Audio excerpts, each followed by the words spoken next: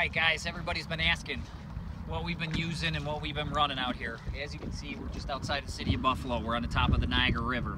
Uh, we're at the, the end of the Ferry Street Pier, right about where the current begins. We're hitting the edge of all these piers. We got the Ferry Street Pier, we got the outer walls. You guys can see the roundhouse and stuff like that. Alls we're using is the top of the river current to, you know, start our drift and get us carried down the river.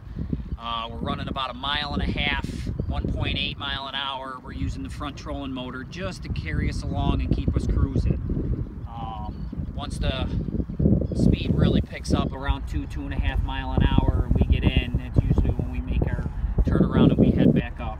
We're running TAAR Fishing's new spinning rod. This one's a seven foot two. Uh, real good stiff rod, a lot of action in it, light handle, awesome cork, handle goes through everything.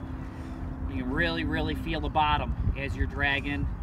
You can really, really feel them light bites from the walleye. We're running a split rig.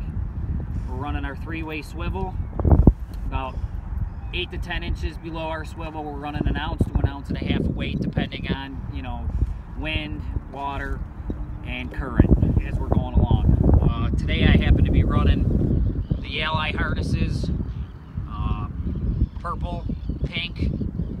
We've been doing really good on these ones. We've been really doing really good on copper, the copper colors, the copper backing on the blades. Um, and then ahead of that, I'm running anywhere from uh, an 18 to a 24 inch carb, or, uh, fluorocarbon leader. Basically, all we're doing, we're dropping down right next to the boat.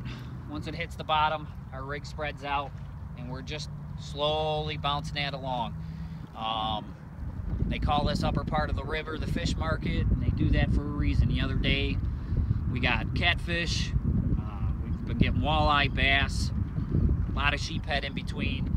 But, you know, for a great day out on the water, and for a chance to come out here and get anything you want, you know, keep the kids busy, you're into the fish all day, and it's a great time, great spot to fish Come out, enjoy the water with us. Check out TAAR Fishing, taarfishing.com. Thanks, guys, and thanks for the follow.